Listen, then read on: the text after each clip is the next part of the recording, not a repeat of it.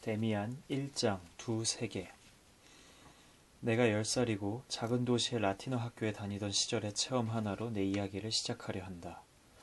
그 시절로부터 짙은 향기가 밀려와 속에서부터 아픔과 기분 좋은 전율로 마음을 뒤흔든다.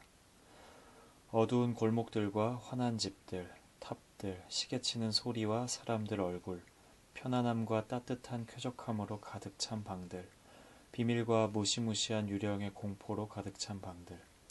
따뜻하고 비좁은 방의 냄새, 토끼와 하녀들의 냄새, 가정 처방약 냄새와 마른 과일 향기가 난다. 그곳에서는 두 세계가 뒤섞였다. 밤과 낮이 두 극으로부터 나왔다. 한 세계는 아버지의 집이었다. 그 세계는 협소해서 사실 그 안에는 내 부모님밖에 없었다.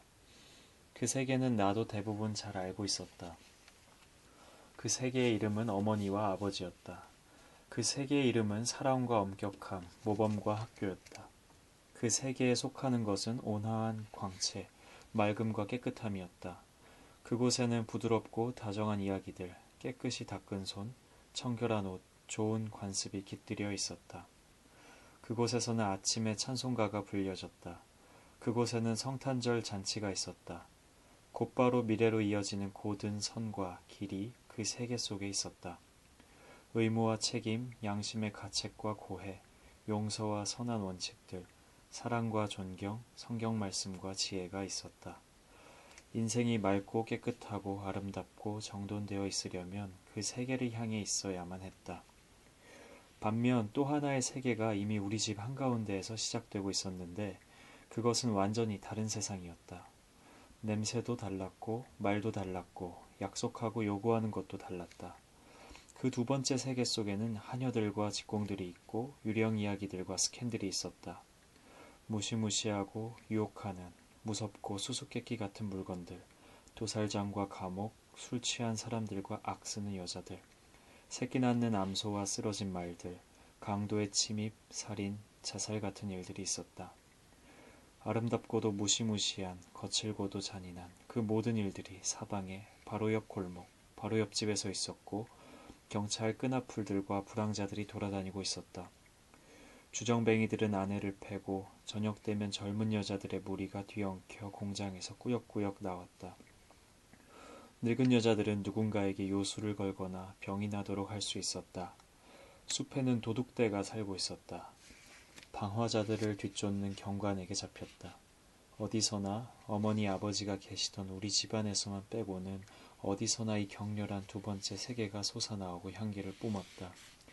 그리고 그것은 아주 좋았다. 여기 우리 집에 평화와 질서, 안식이 존재한다는 것, 의무와 거리낌 없는 양심, 용서와 사랑이 존재한다는 것은 경이로웠다. 그리고 이 그 모든 다른 것들, 소란하고 요란한 것, 음침하고 폭력적인 것이 존재하며 그래도 그런 것들로부터 한 걸음이면 어머니한테로 피신할 수 있다는 것도 경이로웠다. 그리고 가장 기이했던 것은 그 경계가 서로 닿아 있다는 사실이었다. 두 세계는 얼마나 가까이 함께 있었는지. 예를 들면 우리 집 하녀 리나는 리나는 저녁 기도 때 거실 출입문 옆에 앉아 씻은 두 손을 매끈하게 펴진 앞치마 위에 올려놓고 밝은 목소리로 함께 노래 부르는데 그럴 때 그녀는 아버지와 어머니, 우리들 밝음과 올바름에 속했다.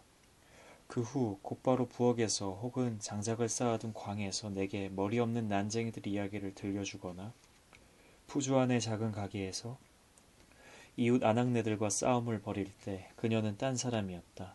다른 세계에 속했다. 비밀에 애워싸워 있었다. 그런데 모든 것이 그랬다. 나 자신이 가장 심하게 그랬다. 물론 나는 밝고 올바른 세계에 속했다. 나는 내 부모님의 자식이었다. 그러나 내가 눈과 귀를 향하는 곳 어디에나 다른 것이 있었다. 나는 다른 것들 속에서도 살고 있었다. 비록 그것이 내게는 자주 낯설고 무시무시했고 그곳에서는 규칙적으로 양심의 가책과 불안을 얻을지라도 심지어 한동안 내가 가장 살고 싶어 한 곳은 금지된 세계 아니었다. 그리고 밝음 속으로의 귀환은 그것이 제 아무리 필연적이고 제 아무리 선하더라도 덜 아름다운 것, 보다 지루한 것, 보다 황량한 것으로 돌아가는 것 같았다. 인생에서의 내 목표가 우리 아버지 어머니처럼 되는 것, 그렇게 밝고 맑게, 그렇게 뛰어나고 단정하게 되는 것임을 나도 때로는 알았다. 그러나 거기까지 이르는 길은 멀었다. 그렇게 되기까지는 학교에서 배겨내야 하고, 대학 공부를 해야 하고, 온갖 시험들을 치러야 했다. 그 길은 자꾸자꾸 또 하나의 어두운 세계 옆을 지나거나 그 세계를 꿰뚫으며 이어져서 그 세계에 머무르고 그 안으로 가라앉아 버리는 것이 전혀 불가능한 일은 아니었다. 그렇게 된 탕아들의 이야기가 있었다. 그런 이야기들을 나는 열정을 가지고 읽었다. 그런 이야기들에서는 아버지에게로 그리고 서남해로의 귀환은 언제나 구원이며 위대한 것으로 되어 있었다. 어디까지나 그것만이 올바른 것, 선하고 소망할 만한 것이라고 나는 느꼈다. 그럼에도 악당들과 탕아들이 나오는 대목이 훨씬 더 마음을 사로잡았다. 이런 고백을 해도 된다면 탕아가 참회를 하고 다시 받아들여지는 것이 어떤 때는 그야말로 유감이었다. 그러나 그런 말을 하지는 않았다. 생각조차 하지 않았다. 그것은 한 가닥 예감이자 가능성으로 감정의 밑바닥에 막연히 자리 잡고 있었다. 악마를 상상하면 저 아래 길거리에 있는 모습으로 생생하게 떠올릴 수 있었다. 변장을 했거나 공공연하게 모습을 드러냈거나 가설시장에 혹은 술집에 있는 모습으로 그러나 결코 우리 집에 있는 모습으로 떠올릴 수는 없었다. 내 누이들도 똑같이 밝은 세계에 속했다. 그들은 내 눈에 본질적으로 아버지 어머니와 더 가까운 듯 보였다. 그들은 나보다 선했고 도덕적이었고 결함이 없었다.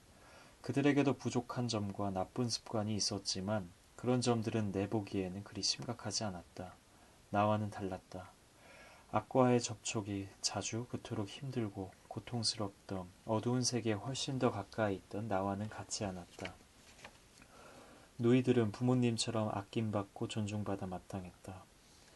누이들과 다투었어도 나중에 자신의 양심 앞에서 보면 늘 내 자신이 나쁜 사람, 용서를 빌어야 할 원흉이었다. 누이들을 모욕하는 것, 그것은 부모님을, 선함과 계율을 모욕하는 일이었다. 누이들보다는 오히려 가장 타락한 불황아 쪽과 나눌 수 있는 비밀들이 있었다. 세상은 밝고 양심은 거리낌 없는 기분 좋은 날이면 그때는 누이들과 노는 것, 선하고 얌전하게 그들과 함께하며 착하고 고귀한 겉모습의 자신을 보는 일이 유쾌했다. 천사라면 분명 그래야 했으리라. 천사가 된다는 것은 우리가 알았던 최고의 것이었다. 천사라는 것을 우리는 감미롭고 경이롭게 생각했다. 크리스마스나 행복처럼 밝은 음향과 향기에 에워싸인 것으로 생각했다. 그런 시간들과 나날들은 오 얼마나 드문가 놀이를 하며 우리에게 허용된 악이 없는 좋은 놀이를 하며 나는 자주 열정과 격함에 사로잡혔고 그것이 누이들에게는 너무 심하게 느껴져 다툼과 불행으로 이어졌다. 그 다음에 화가 치밀면 나는 끔찍해져서 닥치는 대로 이런저런 말과 행동을 했는데 그것이 타락임을 그런 일들을 행하고 말하는 동안에 이미 스스로 뜨겁게 느꼈다. 그 다음에는 어둡고 격양된 후회와 회한의 시간이 왔다. 그 다음에는 용서를 비는 고통스러운 순간이 오고 그 다음에야 몇 시간 혹은 몇 순간 동안 다시 한 줄기 광명의 빗줄기 분열 없는 한 가닥 고요하고 고마운 행복이 되돌아오는 것이었다. 나는 라틴어 학교에 다녔다. 시장의 아들과 수석 삼림관의 아들이 우리 반에 있어 이따금씩 우리 집에 왔다. 난폭한 사내 아이들이었어도 허용된 선한 세계에 속한 애들이었다. 그럼에도 불구하고 나는 여느 때 우리가 경멸하던 이웃 아이들, 공립학교 학생들과 가까운 관계를 맺고 있었다. 그들 중 하나로 나는 내 이야기를 시작해야겠다. 어느 수업 없는 오후 열 번째 생일이 갓 지났을 때였다. 나는 두 친구와 함께 집 근처를 이리저리 돌아다니고 있었다. 그때 커다란 아이가 왔다. 13살쯤 된 억센 사내 아이. 공립학교 학생으로 재단사의 아들이었다. 그의 아버지는 술꾼이었으며 온 가족이 악명이 나 있었다. 프란츠 크로머는 나도 잘 알고 있었다. 나는 그 애가 무서웠다. 그 애가 불쑥 끼어들어오자 나는 기분이 좋지 않았다. 그 애는 벌써 어른 티가 났고 젊은 공장 직공들의 걸음걸이와 말투를 흉내내고 있었다. 그가 시키는 대로 우리는 다리 옆에서 강가로 내려갔고 첫 교각 밑에서 세상으로부터 몸을 숨겼다. 아치형의 교각과 천천히 흐르는 강물 사이 좁은 강변은 온통 쓰레기, 사금파리, 잡동사니 천지로 녹슨 철사줄이며 다른 쓰레기 뭉치들이 어지럽게 널려 있었다. 거기서 이따금씩 쓸만한 것들이 발견되기도 했다. 프란츠 크로머의 지휘에 따라 그 구간을 샅샅이 뒤져 우리가 찾아낸 것을 그 애에게 보여야 했다. 그러면 그 애는 그것을 자기 호주머니에 집어넣든지 물에 던져버렸다. 그 애는 우리들에게 그 가운데 혹시 납, 구리 혹은 주석으로 된 것이 있는지 잘 살피도록 시키고는 그런 것 모두 자기 호주머니에 넣었다. 뿔로 된 낡은 빗도 호주머니에 넣었다. 그 애와 어울려 있자니 몹시 마음이 조였다. 아버지께서 아시기라도 하면 이런 만남을 금하실이라는 것을 알았기 때문만이 아니라 프란츠에 대한 무서움 때문이기도 했다. 그 애가 나를 받아들여 나를 다른 애들과 똑같이 취급한다는 것은 기뻤다. 그 애는 명령했고 우리는 복종했다. 그러는 것이 처음 그 애와 함께 있었건만 마치 오래 해오던 일처럼 여겨졌다. 마침내 우리는 땅바닥에 앉았고 프란츠는 강물에다 침을 뱉었다. 그 애는 어른처럼 보였다. 이새로 침을 탁 뱉는데 어디든 원하는 곳을 맞췄다. 그가 얘기를 시작했다. 그러자 소년들은 학생이 저지를 수 있는 온갖 종류의 영웅적 행동과 나쁜 짓거리들을 자랑삼아 떠벌렸다. 나는 아무 말도 하지 않았다. 그렇지만 바로 나의 말없음이 시선을 끌어 크로머의 노여움을 사게 되지 않을까 두려웠다. 두 친구는 처음부터 나와는 거리를 두었고 크로머 편이라고 공언한 터라 나는 그들 속의 이방인이어서 내 옷차림이며 태도가 그 애들에게 거슬리는 것임을 알고 있었다. 라틴어 학교 학생이며 좋은 집안 자식인 나를 크로머가 좋아할 리 없었다.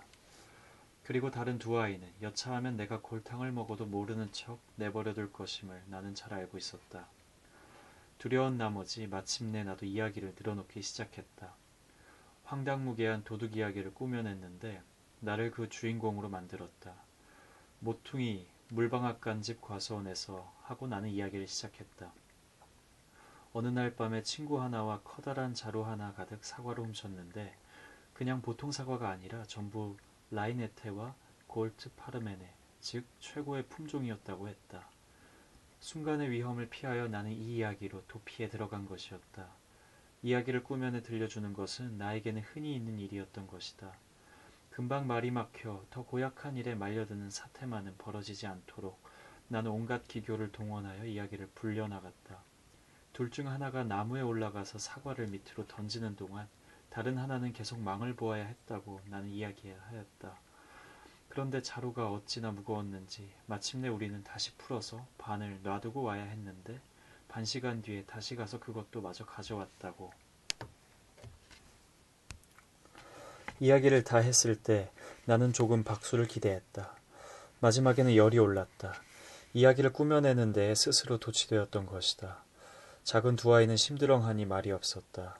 그러나 크로머는 반쯤 뜬 실눈으로 나를 쏘아보며 위협하는 목소리로 물었다. 그 얘기 진짜야? 그럼 내가 말했다. 그러니까 진짜로 있었던 일이라 이거지? 그래, 진짜로 있었던 일이야. 속으로는 겁이나 숨이 막히는 것 같은데도 나는 고집스럽게 단언했다. 맹세할 수 있어? 나는 몹시 놀랐지만 즉시 그렇다고 했다. 그럼 말해. 하느님을 걸고 목숨을 걸고 맹세한다고. 나는 말했다. 하느님을 걸고 목숨을 걸고 맹세해. 그러셔. 하더니만 그 애는 몸을 돌려버렸다. 그걸로 잘 끝났다고 나는 생각했고 그 애가 곧 일어나 집으로 돌아가는 길로 접어들자 기뻤다. 우리가 다리 위에 왔을 때 나는 수줍게 이제 집으로 가야 한다고 말했다. 집에 가는 게 뭐 그리 급하냐? 프란츠가 웃었다. 우린 가는 길이 같잖아. 어슬렁 어슬렁 그 애는 계속 걸어갔고 나는 감히 딴 데로 가지 못했다. 그런데 그 애는 정말로 우리 집 쪽으로 향하고 있었다. 우리가 다 왔을 때 우리 집 현관문과 묵직한 구리 문손잡이, 어머니 방의 커튼이 보였을 때 나는 깊이 숨을 내쉬었다. 어, 집으로 돌아왔구나. 어, 축복받은 선한 귀한 집으로 밝음 속으로 평화 속으로 귀한 내가 얼른 문을 열고 살짝 빠져들어가 등 뒤로 문을 닫으려는 참에 프란츠 크로머가 함께 밀고 들어서는 것이었다. 마당 쪽에서만 빛이 들어오는 서늘하고 침침한 타일 깔린 복도에서 그 애가 내 곁에 서서 내 팔을 붙들고 나지기 말했다. 그렇게 바쁘게 굴지 마라 너. 놀라서 나는 그 애를 응시했다.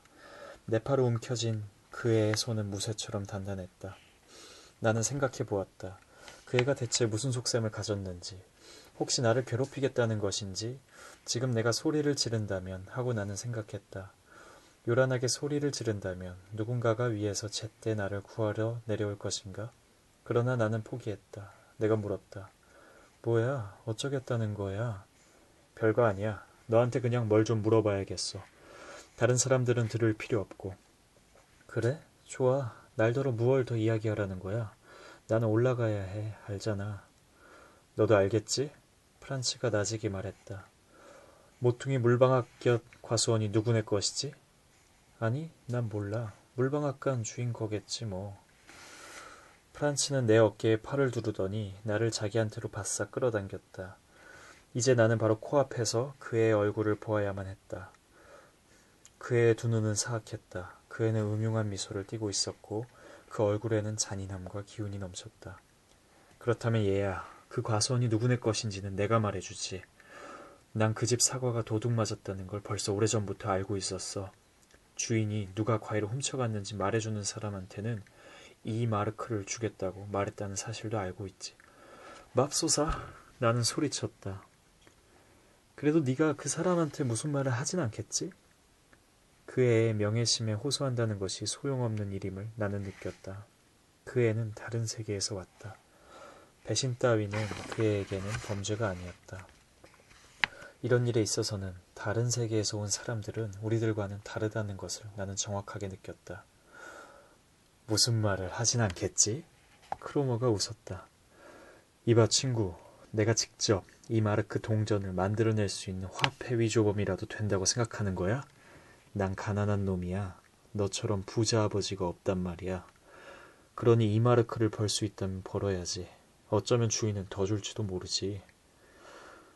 그러더니 갑자기 나를 다시 놓았다. 우리 집 현관마루에는 이제 더 이상 평화와 안전의 냄새가 나지 않았다. 세계가 내 주위에서 무너졌다. 그 애가 떠들고 다니겠지. 내가 죄를 지었다고. 그 말을 아버지한테도 하겠지. 어쩌면 경찰까지 오겠지. 모든 혼돈의 공포가 나를 위협하고 있었다. 모든 흉측하고 위험한 것이 일제히 나에게 맞서고 있었다. 내가 훔치지 않았다는 것은 이제 문제가 되지 않았다. 나는 맹세까지 하나, 하지 않았던가? 세상에, 하느님, 맙소사. 눈물이 핑 돌았다. 매수를 해서 나를 구해야겠다고 느꼈다. 절망하여 모든 호주머니를 뒤졌다. 사과도 주머니 칼도 없었다. 아무것도 없었다. 그때 내 시계 생각이 났다. 그것은 낡은 은시계였는데 가지는 않았다. 그냥 그렇게 차고 다니는 것이었다. 할머니가 물려주신 시계였다. 얼른 그걸 꺼냈다. 나는 말했다.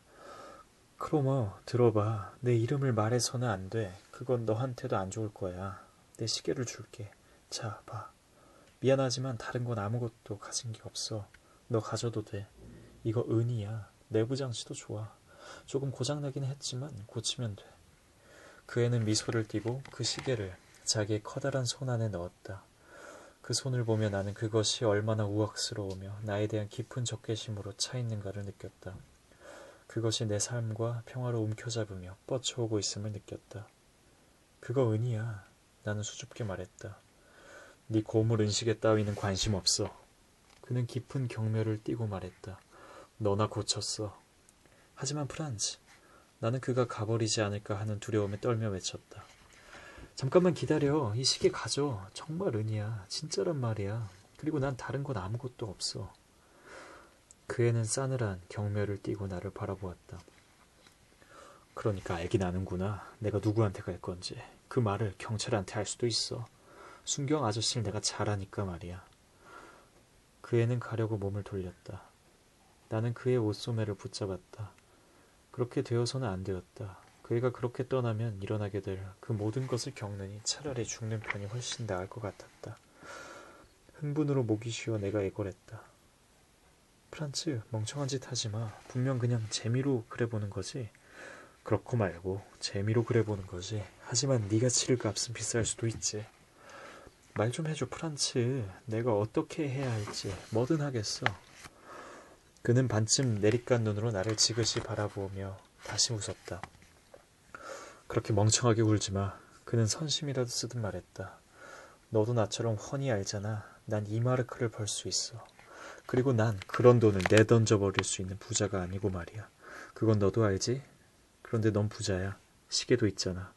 넌 나한테 이 마르크를 주기만 하면 돼. 그럼 끝이지. 나는 그 논리를 이해했다. 그러나 이마르크라니 이마르크란 나한테는 10마르크, 100마르크, 1000마르크나 마찬가지로 도달할 수 없는 큰 돈이었다. 나는 돈이 없었다. 어머니 곁에 놓아둔 저금통이 있었다. 거기에는 아저씨가 오신다든지 그럴 때 받은 몇 개의 10페니 혹은 5페니 짜리 동전이 들어있었다. 그 밖에는 아무것도 없었다. 그 나이에는 아직 용돈을 받지 않았던 것이다. 난 아무것도 없어. 내가 슬프게 말했다. 난 돈이 없어. 그러나 그 밖에는 내게 뭐든 다 주겠어. 내게는 인디언 책이 있고 병정들이 있고 나침반도 하나 있어. 그걸 가져다 주겠어. 크로머는 다만 뻔뻔하고 심술궂게 입을 움찔하며 바닥에 침을 탁 뱉었을 뿐이었다. 헛소리 집어치워. 그가 명령하듯 말했다. 네 고물 잡동사니들은 너나 가지고 있어. 나침반이라고? 날 더 이상 화나게 하지 마라. 잘 들어. 돈을 가져와. 하지만 난 돈이 없는 걸 나는 돈을 받아본 적이 없어. 어떻게 할 길이 없어. 내일 나한테 이마르크를 가져오는 거야. 학교가 끝난 뒤 저 아래 시장에서 기다릴게. 그럼 끝이야. 만약 네가 돈을 안 가져오면 알지? 알겠어. 하지만 대체 어디서 돈을 가져오란 말이야. 하느님 맙소사. 난 돈이 없는데. 너네 집에는 돈이 충분히 있잖아. 가져오고 안 가져오고는 네 일이지. 그럼 내일 학교 끝나고다. 말해두지만 만약 안 가져오면 그 애는 무서운 눈길로 내 눈을 쏘아보고 또다시 침을 뱉고는 그림자처럼 사라졌다. 나는 계단을 올라갈 수가 없었다. 나의 인생이 산산이 부서져 있었다. 달아나 다시는 돌아오지 않거나 물에 빠져 죽을 생각을 했다. 그렇지만 그러면 어떨지는 똑똑하게 떠오르지 않았다. 어둠 속 계단 맨 아래 칸에 앉았다. 한컷 웅크리고 앉아 불행의 몸을 내맡겼다. 장작을 가지러 광주리를 들고 내려오던 리나가 내가 울고 있는 모습을 보았다. 나는 리나에게 위에 가서는 아무 말도 말라고 부탁하고 올라갔다.